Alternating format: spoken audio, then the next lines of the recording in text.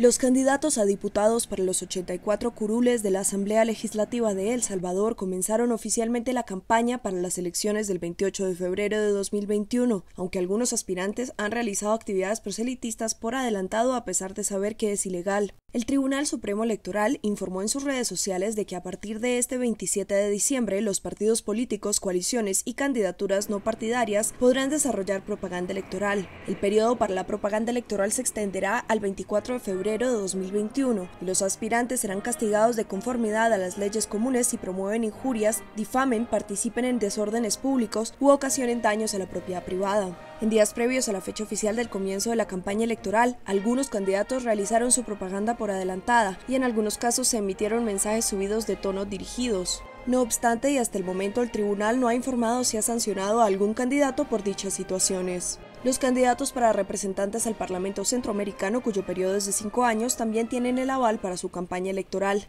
El tribunal convocó el 30 de septiembre pasado a los comicios legislativos y municipales que se celebrarán el 28 de febrero de 2021, cuya fecha se mantiene a pesar de los efectos causados por la pandemia del coronavirus en el país. Según proyecciones recientes, los partidos políticos del oficialismo controlarán la Asamblea Legislativa tras las elecciones de febrero de 2021 con el 83% de los diputados. Diversos analistas políticos han señalado que esta campaña electoral será la más confrontativa por la relación tensa que Bukele mantiene con los demás órganos del Estado en especial con la Asamblea Legislativa.